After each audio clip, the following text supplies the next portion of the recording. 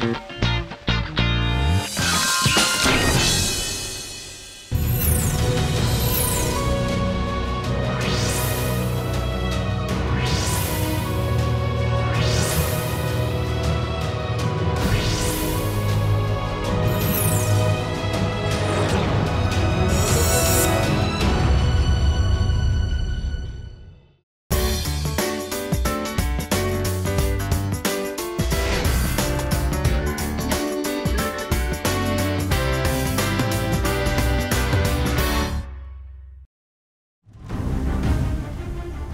한순간도 눈을 뗄 수 없는 긴장의 땅 DMZ.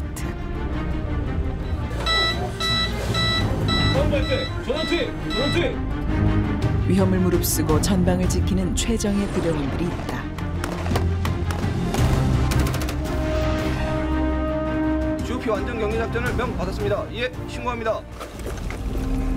365일 국민과 조국을 위한 싸움에 기꺼이 몸을 던지는 청춘들.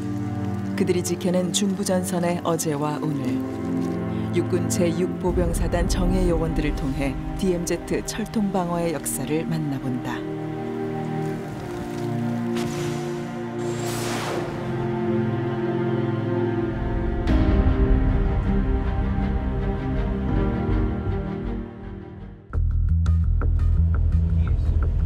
철책에 둘러싸인 산허리, 육사단 청성부대가 지키는 중부전선. 밤낮을 바꿔가며 24시간 철통 방어에 나서는 장병들이 있다.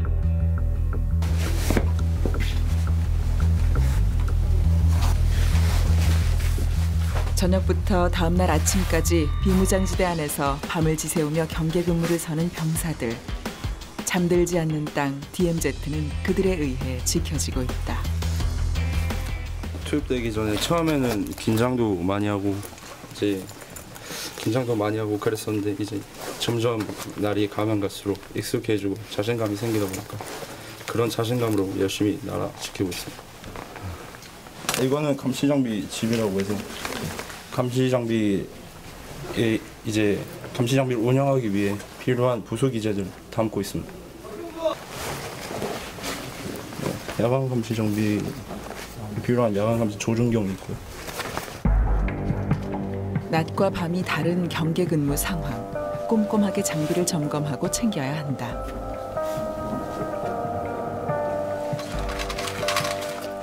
철책을 사이에 두고 가장 먼저 적과 마주하는 GOP. 근무에 나서기 전 실탄이 지급된다. 언제든 적의 도발이 일어날 수 있기 때문이다. 분명히 회, 영, 상탄 15발, 사탄 집 45발 이상 무 저상탄 15발, 사탄 집 40... 신고합니다. 중사 김인수 등 12명은 GOP 완전 경계 작전을 명 받았습니다. 예, 신고합니다. 사후간의 야간 감시 장비 확인. 극도의 긴장 속에서 경계 근무를 서야 하는 장병들. 반복된 훈련을 통해 실전을 훈련처럼 소화한다. 이제부터 의지할 일하곤 전우뿐. 서로의 장비를 점검하면서도 긴장의 끈을 놓칠 수 없다. ENT 휘영 일병이 휘, 영, 오늘의 ENT에 대해 말씀드리겠습니다. 오늘의 ENT 21시 03분 근무자들 우위를 잘 챙기고 있다가 경계 작전간에 비가 오게 되면 우위를 착용하고 경계 작전할 수 있도록 한다. 알았지? 예! 기상 정보가 이제 저희가 경계 작전을 하게 되면은 기상도 전방 시야라든지 시계라든지 그런 부분에 많은 영향을 끼치기 때문에 인원들이 그 일반적인 현황에 대해서 숙지를 하고 야간 상황이 되면 전방 시야가 많이 어두워지기 때문에 인원들이 감시 장비 운용 상태를 매일매일 확인을 하고 감시 장비 이상이 있다고 하면 다른 감시 장비가 대체가 돼서 무조건 경계 작전 간에 이상이 없는 상태로 나가게 됩니다. 대한민국 1% 소수의 정예 장병만이 갈 수 있는 곳. 그들은 매일 우리의 땅이 돼 온전히 우리의 땅이 될 수 없는 DMZ로 향한다. 낮과 밤이 만나는 시간. 장병들은 GOP 초소로 이동 후 빈틈없이 철책을 지키게 된다. 오늘도 청성부대원들에 의해 DMZ가 수호되고 있다.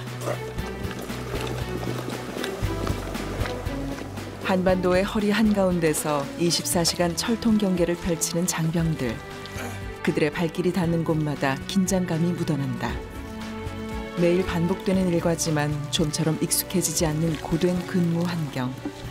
적과 마주하는 두려움보다 조국의 최전방을 책임진다는 자부심이 힘든 경계 근무를 견디게 하는 힘이 된다. 근무는 이제 일주일 단위로 보통 합니다. 2주에 한 번씩이나 3주에 한 번씩 이렇게 돌아갑니다.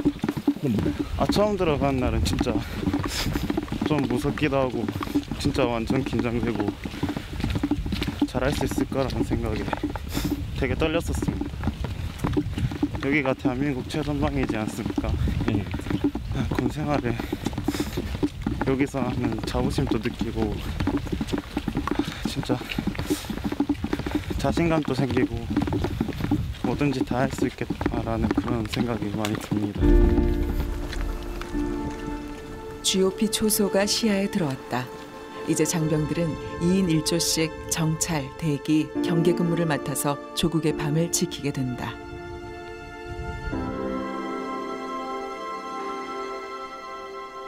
경계 근무를 맡은 장병들이 초소에 들어가자마자 조금씩 내리던 빗줄기가 거세졌다.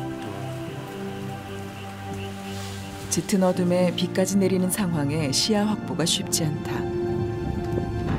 긴장을 놓치는 순간 큰 위험이 닥칠지도 모르니 경계 근무를 게을리할 수도 없다. 한여름에는 지금보다 더한 더위와 장마도 이겨내야 한다. 하절기다 보니까 좀 벌레가 많아서 약간 근무 쓰는데 지장이 조금 있습니다. 움직임이라든가 미세한 불빛이라든가 그런 거에 신경 써서 주위를 잘 살펴봐야 됩니다. 만약 적이 침투해 온다면 주간보다는 야간이 될 확률이 높다. 장병들도 잘 알고 있는 상황인 만큼 매 순간 스스로를 다잡는다. 처음에 DMZ라고 했을 때 약간 좀 너무 어떻게 많이 무섭고 좀 진짜로 북한군이 북계군이 쳐들어왔을 때 어떻게 해야 될까 그런 생각을 했었는데 막상 경계를 쓰면서 내가 아니면 다른 사람들을 못 지킨다는 생각 때문에 약간 무섭지만 그래도 그런 자긍심을 얻고 경계를 쓸 수 있는 그런 DMZ가 그런 곳인 것 같습니다.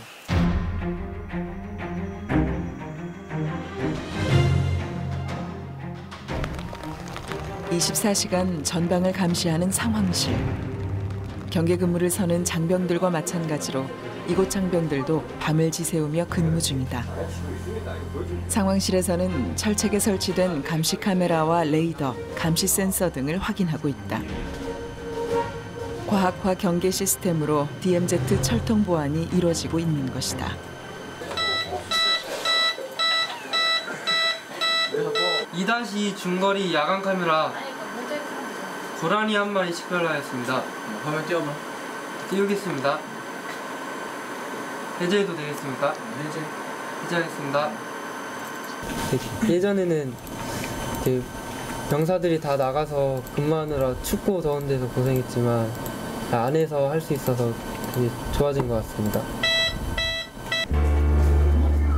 분단된 조국을 지키는 최전방 남방 한계선 적의 위협이 철책을 넘지 않도록 육사단 장병들이 온 힘을 쏟고 있다. (24시간) DMZ엔 긴장감이 감돈다.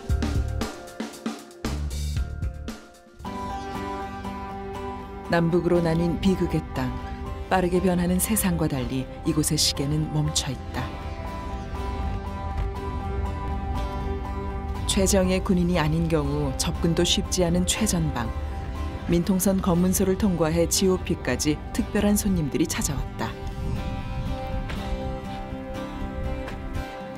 DMZ의 오늘을 지키는 장병들보다 앞서 이 땅을 지켰던 육사단 청성 전후 회원들. 사단 창설 기념식을 통해 이곳을 찾았다. 아직도 마음은 조국을 지키던 청춘 같은데 모든 것이 달라져 있다. 어느 쪽이냐? 여기가 앞인 것 같은데. 군대생활 새로 해야 되겠다. 새로 새로 재입부해야 되겠는데. 재입대 해야 되겠어. 군대 생활 시작을 되겠어. 이거 저기 저 뭐야 40년 전에는 이런 거 야, 야왜 이렇게 무거워? 아 막탄복이니까 무겁지. 야 이게 또 오늘 뭐 이거 야 이거 아주 감회가 깊다. 야 어때 잘 나와? 이쁜가? 아. 벌써 대한민국 예병. 방탄복이 왜 이거 그 시절 추억에 잠겨 잠시 마음이 설렌다. 이 방탄복 무게는 좀 가벼워진 것 같다고요. 옛날 우리가 군대 생활할 때 이게 왜. 갑오졌냐 하면은 시봉 저기 저 뭡니까 그 시대가 바뀌어져 가지고 이총 뚫고 들어지 못하는 그 그게 더 좋아졌다 이 말씀이에요. 네. 왜 거야? 많이 좋아졌겠지 뭐. 어떻게 됐는지. 모든 것이 부족했던 시절 열악한 환경에서도 최전방을 지키기 위해 애썼던 이들. 노병에겐 달라진 군 환경이 새삼스럽다. 야 이거만 이렇게 이거 여기 물만 들어가는데 이거만 짊어져도 이게 한 짐이네.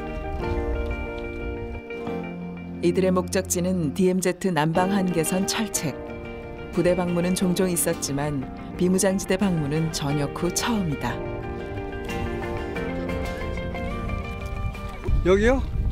24년 만에 올게 아마 제대한 자가 23년 됐는데 그 전에는 후방일 거고 그때 여기 전방에 있었어. 음, 기분은 어떠세요? 네. 기분은 어떠세요? 네? 기분이 기분 좋지.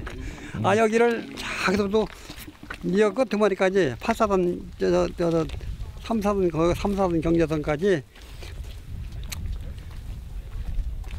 순찰을 들어오면 밤새 밤새 밤새도록 도는 거야 순찰. 견고한 철책선도 첨단 과학 시스템도 없던 시절 한 발 내딛기조차 힘들었던 비포장길 전후 회원들은 두 발로 뚜벅뚜벅 걸어 DMZ의 수호의 역사를 만들어냈다.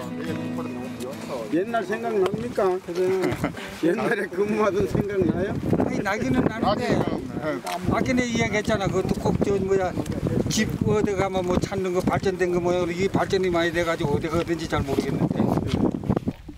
아까도 말했지만 마누라 없이 살아도 장 없이는 못 산다는 곳이고 왜, 왜요?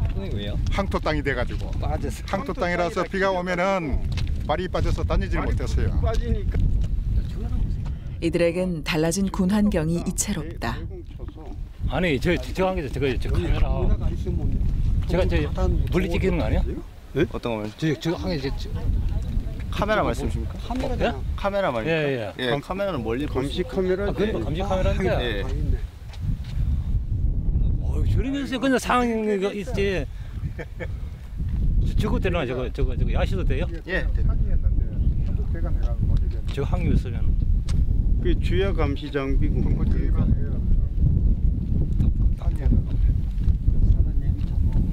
하여튼 뭐 많이 달라졌고. 아니 저 아니. 이들이 복무하던 시절에도 방책선이라 불리던 경계선이 존재했다. 하지만 그 모습은 지금과 많이 달랐다. 물자가 부족했던 탓에 철심이 아닌 나무를 재료로 했기 때문이다. 그렇지 목책. 목 책. 나, 나무를 가지고 이 철책선 대신에 울타리를 만들어서 건물을 했어요. 그건 높이가 어느 정도 됐었어요?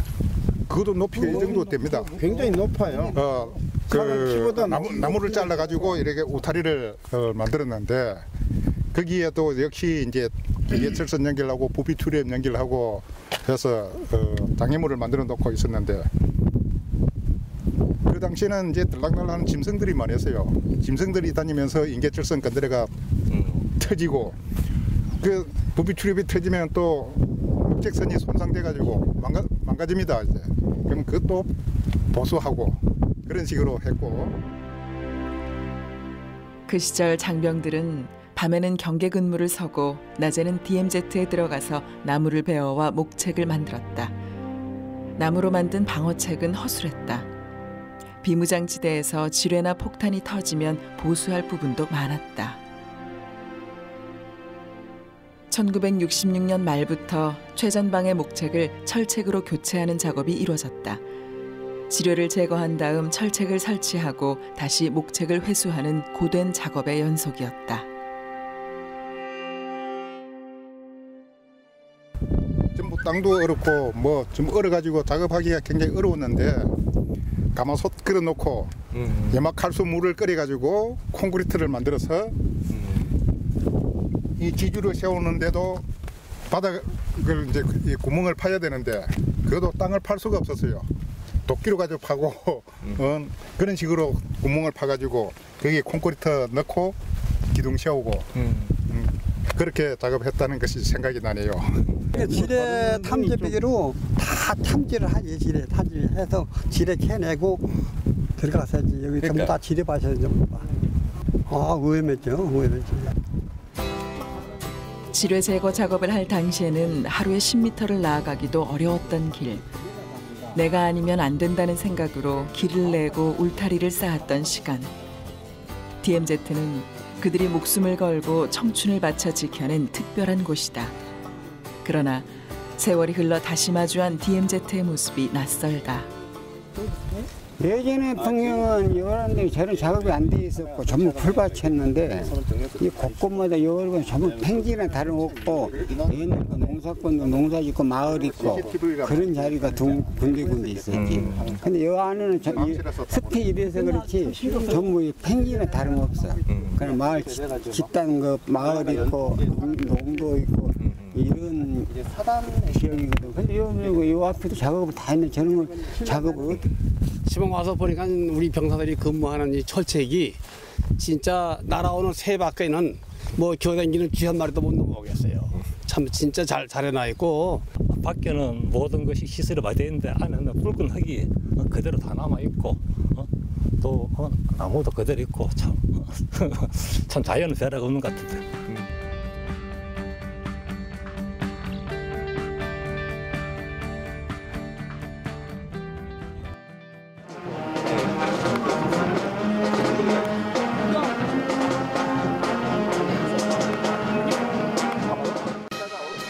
화려한 전투 경력을 자랑하는 육사단 청성부대 67번째 생일을 맞았다.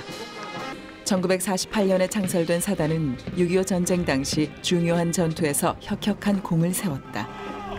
정전협정 이후부터 지금까지 대한민국의 중부전선을 견고하게 지키고 있다.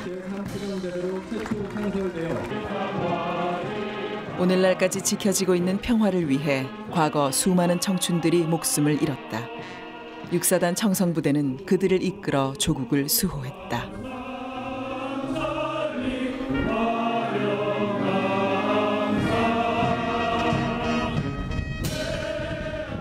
(6.25) 전쟁 당시 최전방이던 춘천에서 38선 방어에 성공한 육사단 인천 상륙작전 이후에는 계속 북진해 압록강물을 마시기도 했다. 이후 용문산 전투에서도 큰 승리를 이뤄냈다. 전후에는 제2 땅굴을 발견해 또 한 번 국가 안보 위기를 극복해내기도 했다. 우리 사단의 역사는 곧 우리 육군의 역사라 해도 과언이 아닙니다. 사단은 대한민국 정부 수립 이전에 창설되어서 6.25 전쟁의 위기에서 가장 많은 전투에 참가하여 가장 많은 전공을 세워 6.25 전쟁 시 가장 잘 싸운 사단으로 알려져 있습니다.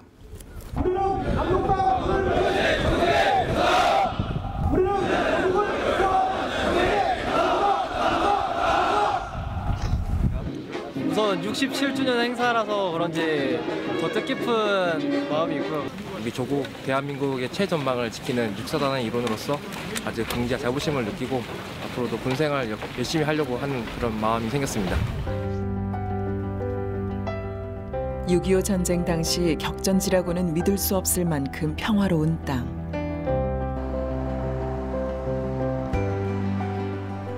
시간이 흘러도 당시의 기억이 생생한 참전 용사들은 이곳에 남아 역사를 증언하고 있다.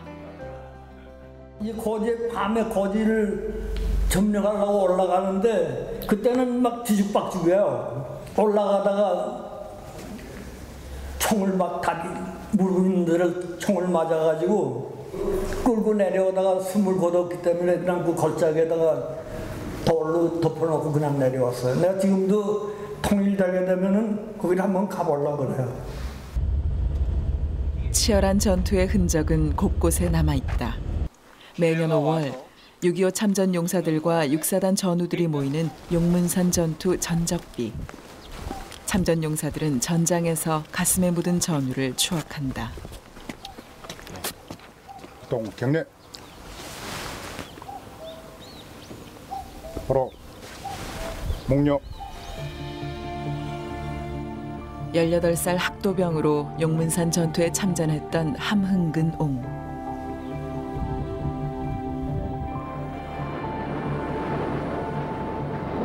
(1951년 5월) 중공군은 당시 상승세였던 한국군의 기세를 꺾으려 총 공격을 감행했다. 용문산 일대에서 중부전선을 구축한 육사단을 향해 중공군 세개의 사단이 인해 전술을 퍼부었다. 전투 결과 적군을 섬멸하는 데 성공했다. 걔네들 공격은 낮에는 공격은 못해. 밤에만 와. 밤에 올 때 걔네들은 몰래 공격 이라는 게 없어. 피리 불고 나팔고 깽과를 치고 그러고 오기 때문에 오는 거 다 알아. 그럼 보이지 않아도 그대로 사격을 막 하면 쓰러져. 해만 떴다 하면 하나도 안 보여. 왜? 비행기가 무서워 다 숨어버렸어. 그래서 낮에는 우리 땅, 밤에는 쟤네 땅이 되는 것이 있었어. 하루 사이 주인이 바뀌던 땅을 지켜낸 힘. 치밀한 작전과 병력의 합심으로 6.25 전쟁 중 단일 전투로는 유례 없는 대승을 거뒀다. 기념비 저건. 목숨을 걸고 지켜낸 땅은 그날의 처절한 역사를 잊은 듯 고요하기만 하다.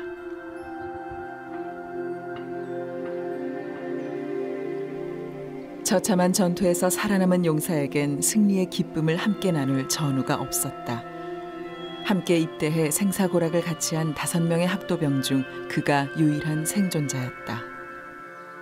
80이 넘어서 내가 이 자리에 와서 이런 시간을 가지라고 한 것은 상상치도 못하고 했던 것이 여기 와서 저 전우들의 죽은 모습을 볼 때에 이 전우 생각이 또다시 나고 내 어렸을 적에 고생한 내 생각이 지금 눈물이 겨워서 말을 못하겠어요 내가. 그래도 내가 죽지 않고 이때까지 살았어요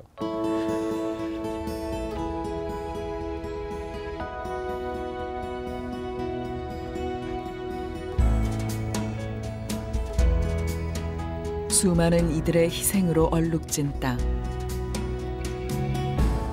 오늘은 또 다른 청년들에 의해 긴장의 공간 DMZ가 지켜지고 있다. 중부전선 최전방 6사단 적기 추락 대공비상 대공비상 GOP 부대가 경계 근무를 서는 시각 부대 후방에선 방공중대의 훈련이 한창이다.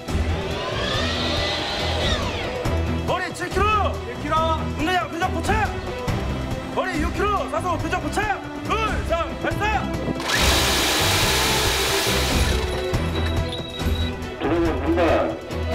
적기 출현에 대비하는 것은 물론 DMZ 경계 작전 중 적의 도발에도 대비해야 한다.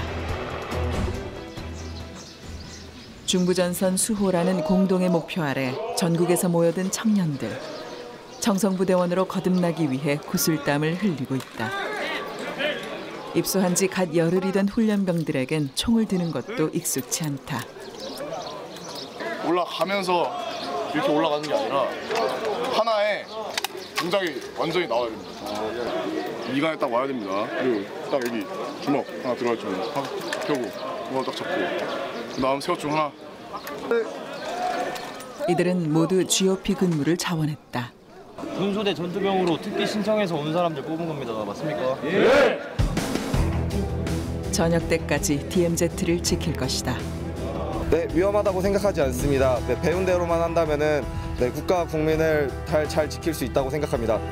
최전방에서의 근무로 정전 상태의 긴장 상태를 피부로 느끼고 국가 국민 그리고 가족들을 지킨다는 애국심과 자부, 자부심으로 인해 지원하게 되었습니다. 주변의 우려와 걱정을 뒤로하고 최전방 중부전선을 향해 달려온 청춘들. 이들의 열정과 용기로 앞으로도 중부전선은 지켜지게 될 것이다. 육사단을 거쳐간 수많은 장병들에 의해 조국 수호의 최전방 DMZ가 지켜지고 있다.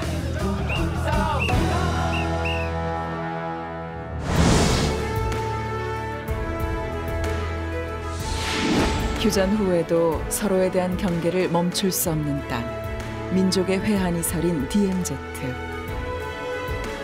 그곳을 지키는 이들은 오늘도 가족과 조국을 위한 전투를 계속하고 있다.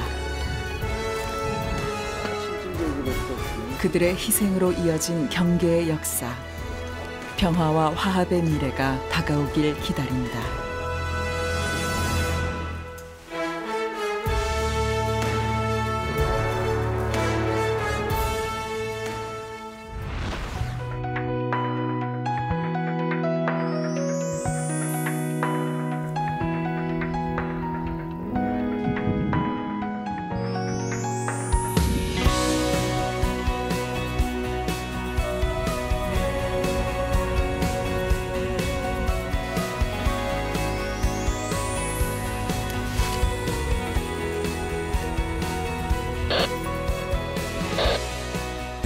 보시면은 이렇게 이제 사냥 털들이 있어요. 기존의 사냥들이 여기서 엎드려서 쉬었다라는 그런 흔적이 남아 있기 때문에